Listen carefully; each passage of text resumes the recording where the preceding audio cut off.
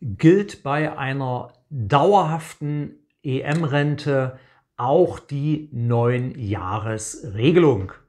Mein Name ist Peter Knöppel, ich bin Rechtsanwalt und Rentenberater von Rentenbescheid24.de. Also ich habe heute am 6.10.2021 eine interessante Anfrage bekommen von einem Kunden von Rentenbescheid24.de.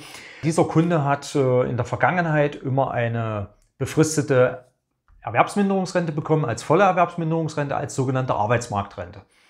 Und im Jahr 2020 wurde dann aufgrund einer medizinischen Begutachtung festgestellt, dass aus der, äh, aus der befristeten Rente hier eine unbefristete Erwerbsminderungsrente zu gewähren ist, und zwar als Dauerrente unbefristet, wie ich schon gesagt habe.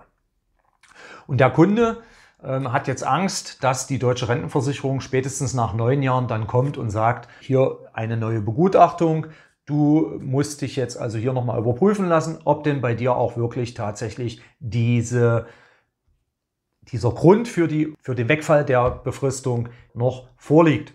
Und da sage ich, nein, da muss man sich eigentlich gar nicht davor fürchten, denn die neuen Jahresregel gilt grundsätzlich bei unbefristeten, dauerhaften EM-Renten so, wie wir sie bei den befristeten EM-Renten kennen, nicht.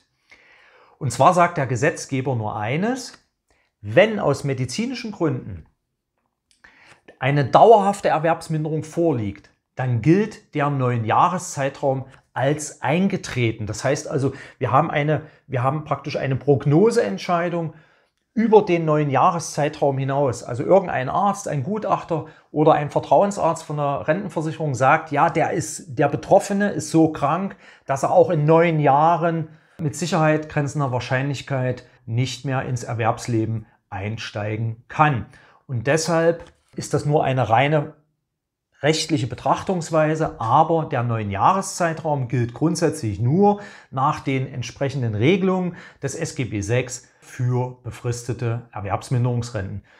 Es kann natürlich irgendwie auch mal ein Umstand eintreten, dass die deutsche Rentenversicherung sagt, na ja, bei dem Versicherten, der eine Dauerrente bekommt, müssen wir trotzdem nochmal nachgucken, aber nur dann, wenn der, wenn der entsprechende Betroffene hier auch den Stein des Anstoßes gegeben hat, indem er zum Beispiel irgendwie mitgeteilt hat, dass er noch arbeiten geht oder dass er vielleicht einen Job macht, der vielleicht in das Erkrankungsbild nicht so ganz reinpasst, so dass die deutsche Rentenversicherung hier Zweifel hat, ob das alles soweit in Ordnung ist. Aber grundsätzlich gilt, die neuen Jahresregelung gilt für EM-Renten, die auf Dauer gewährt werden, grundsätzlich nicht. Näheres zu diesem Thema finden Sie auf www.rentenbescheid24.de. Ich wünsche Ihnen eine rentenstarke Woche. Ihr Rechtsanwalt und Rentenberater Peter Knöppel.